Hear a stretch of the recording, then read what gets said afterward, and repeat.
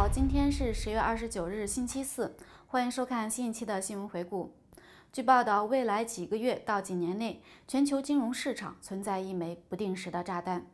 油价下跌将迫使石油出口国的主权财富基金出售资产，以弥补预算赤字。国际货币基金组织经济学家估计，这些主权财富基金近年来已经出售约两千五百亿美元的金融资产。未来五年内可能供需出售约一万亿美元。油价下跌使石油出口国2015年的经常账顺差锐减，加上油价短期不太可能翻升，IMF 预期要到2020年时，石油出口国的总顺差额才可能回升到约两千亿美元。受全球供应过剩疑虑冲击，西德州轻原油12月期货27日盘中重挫2.8%，至每桶42.74美元。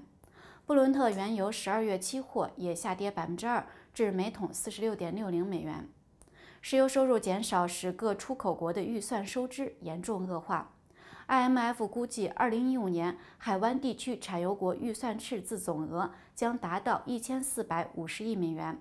二零一五年到二零二零年的累计赤字将达到七千五百亿美元。IMF 估计，截至2015年3月底，石油出口国主权基金共持有4.2万亿美元的全球股票、债券及货币资产。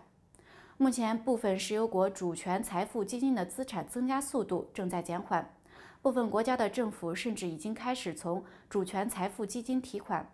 石油出口国是美国债券及股票的第四大持有者，光是公债持有额便接近三千亿美元。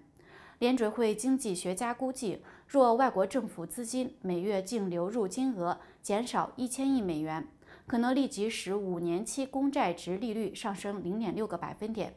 因此，石油国抛售资产对美国市场而言将是一场浩劫。分析人士担忧，若石油国大举抛售资产，可能使全球金融市场更加动荡。本节目由杜高斯贝出品，感谢您的收看。